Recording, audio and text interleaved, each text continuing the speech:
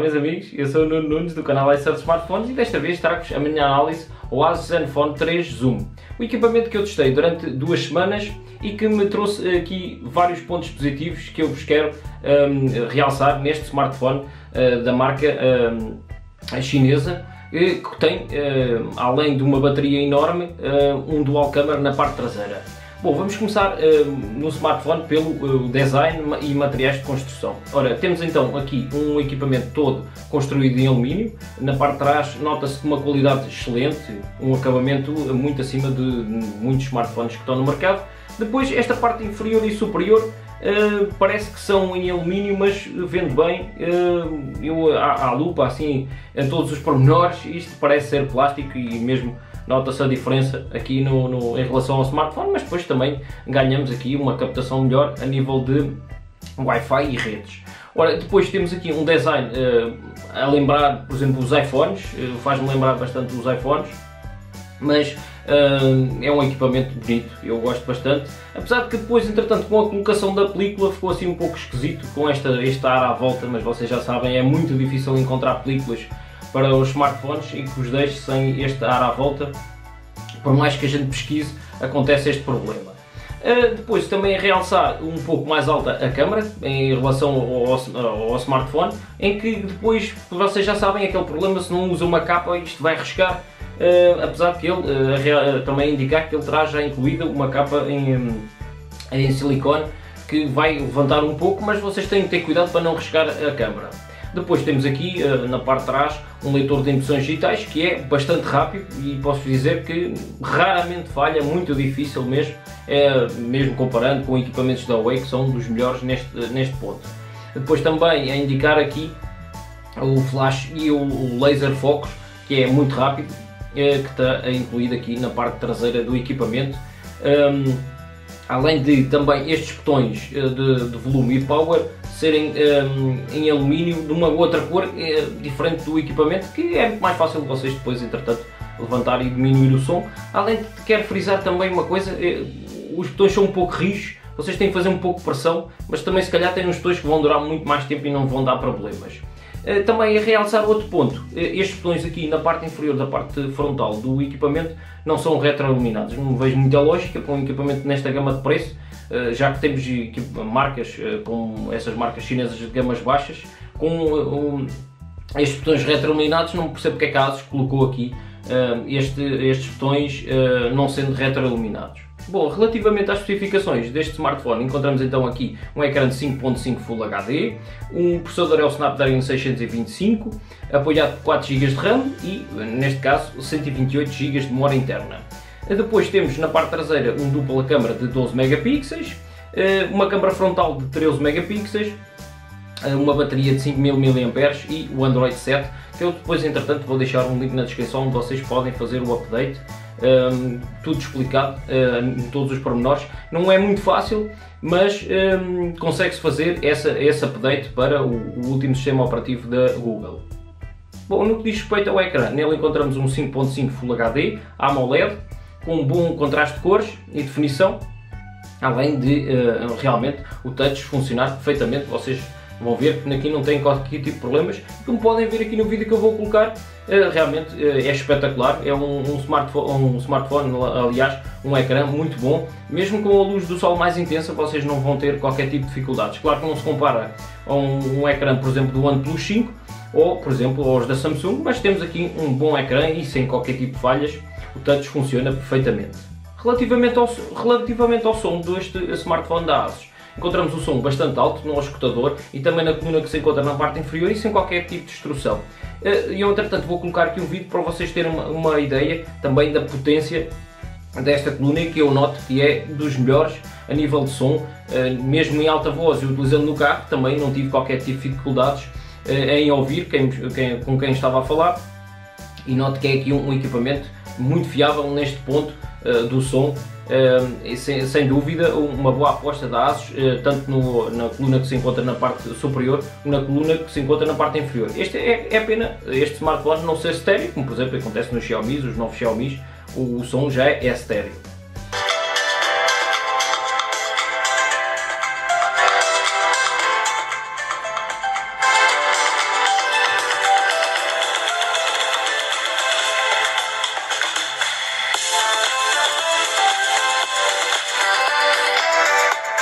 Relativamente agora à bateria, ele encontramos então uma bateria de 5000 mAh e claro, temos aqui um, um, equipamento com um processador Snapdragon 625 e que vocês vão ter imensa autonomia. Este smartphone, para mim, é dos melhores, daqueles melhores que eu já testei a nível de autonomia.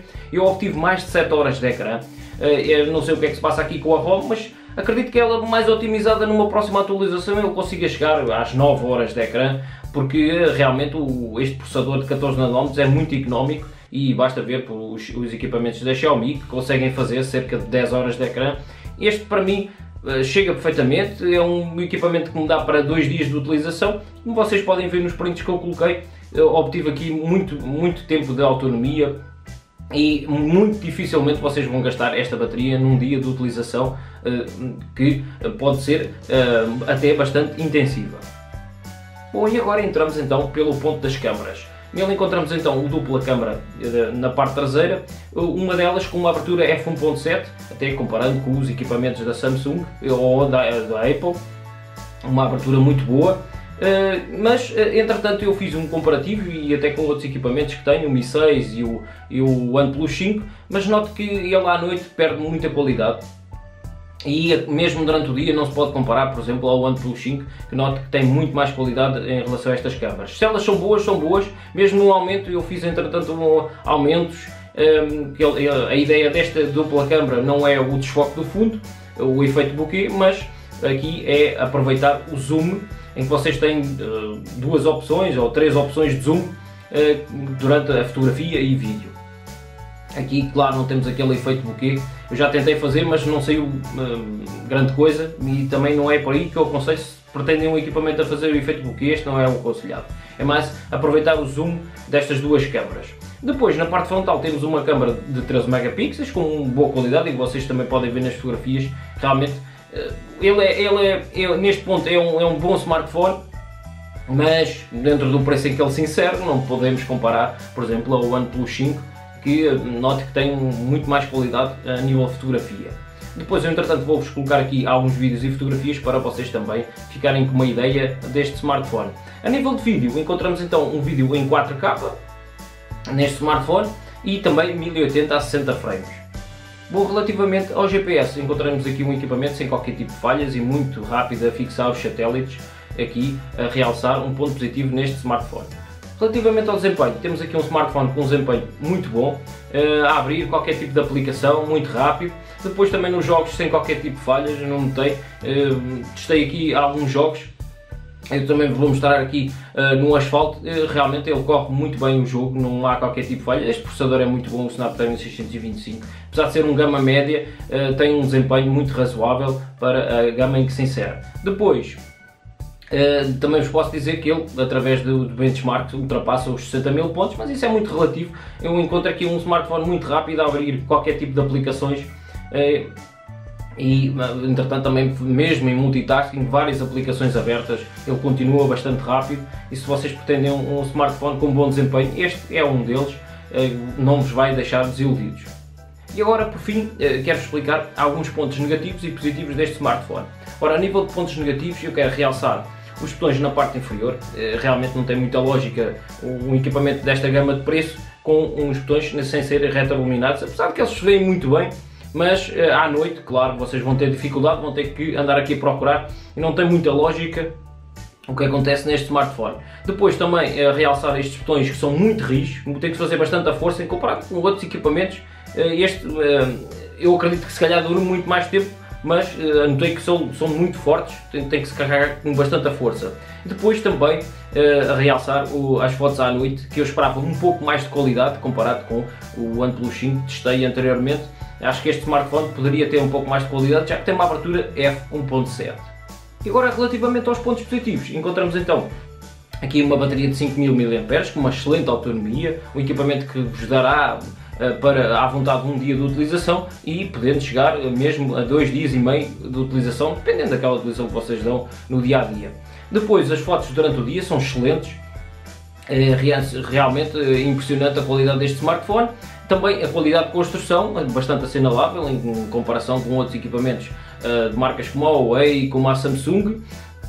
Também a inclusão aqui do Android 7 com o multitasking a memória interna 128 GB, que vocês terão aqui uma memória que nem sequer precisam comprar um cartão micro SD durante bastante tempo e claro, o desempenho do smartphone é espetacular, mesmo tendo este processador de gama média, o 625, o desempenho foi sempre muito acima da média, uh, nunca tive aqui qualquer tipo de lag. E claro, não esquecer também a inclusão de uma capa uh, neste smartphone em que vocês só precisam depois futuramente comprar uma película. Bom meus amigos e por fim, se vocês tiverem alguma dúvida sobre este smartphone da ASUS, já sabem, deixem aqui nos comentários. Agradeço a subscrição do meu canal, um like no vídeo, um obrigado a todos e continuem a ver os meus vídeos.